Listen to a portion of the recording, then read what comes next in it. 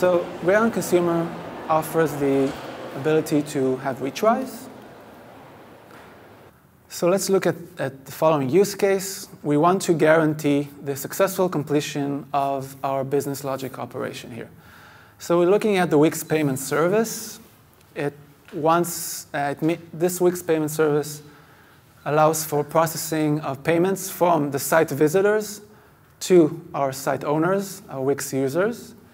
So we have the job scheduler that some requires uh, subscription renewal. So some of our site visitors have a monthly subscription or something like that for payments, and sometimes this subscription needs to be renewed. So the job scheduler sends over to the Wix payment service a renewal request.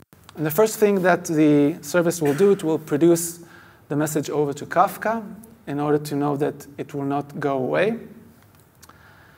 And the next step is to consume it, Wix payment service itself and it will specify that it wants to retry in case there's some business error.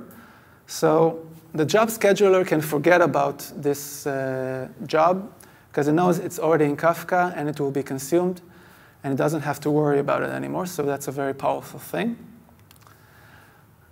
And how do we set it up? So basically we'll introduce a retry policy and set up the intervals between retries uh, one second, then if it still fails after 10 minutes, and you can add more.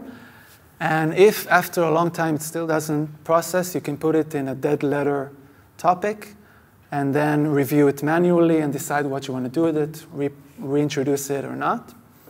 And then with our famous builder that we saw earlier, we just add this uh, retry policy and we get it automatically.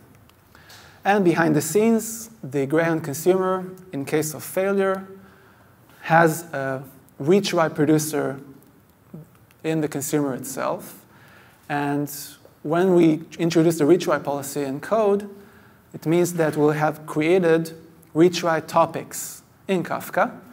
So for each interval, we'll have a separate retry topic. And the producer will produce the, the message upon error for the first retry topic. And if it fails, the producer will then produce it to the second retry topic. And using retry topics was inspired by Uber that have a very similar solution. So we'll have as many retry topics as intervals that we chose. It means that we can have quite a lot of topics and partitions. Basically, with Kafka, the recommended amount of partitions per single broker is up to 4,000, which means you can get, end up with quite a lot of brokers.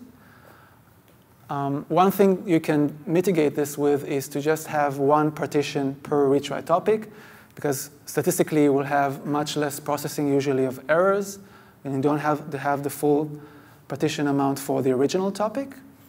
There are other ways to implement retries with Kafka. I don't want to get into it, but there are trade-offs in any case. Um, no solution here is the bulletproof. And one last point about uh, retry topics, you'll get out of order processing. Why? Because once you put the message in a retry topic, the next message in the original topic may succeed, and then it means that you have out of order processing. So what if you have a use case like the use case here that really wants to have sequential processing and never get out of order. In here we have the build log service that puts all kind of metadata information about our build situation in order for other services to consume. And uh, it consumes uh, updates from GitHub, from the source control update topic. And it mustn't uh, process this out of order because then there'll be some corruption in the state. So with Greyhound Consumer, you just specify a blocking policy, which means that the same message upon processing error will retry. Now, what happens if you keep blocking on the same message? You can introduce a lag, meaning that the producer keeps producing messages and higher and higher offsets, but the consumer is way back and a lag is building up. So in that case, we have an alert and a dashboard for each of our services automatically.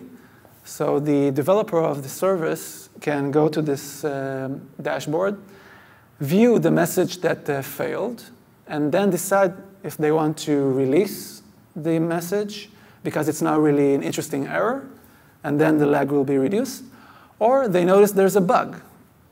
So all they have to do at that point is to go and fix the bug, deploy their service again, and because we know with Kafka, it will just get the, it will reprocess the same message because it's the first one that was not committed yet. And hopefully, the bug was really fixed, and the messages will be uh, consumed again, finished processing uh, successfully, and the lag will go away.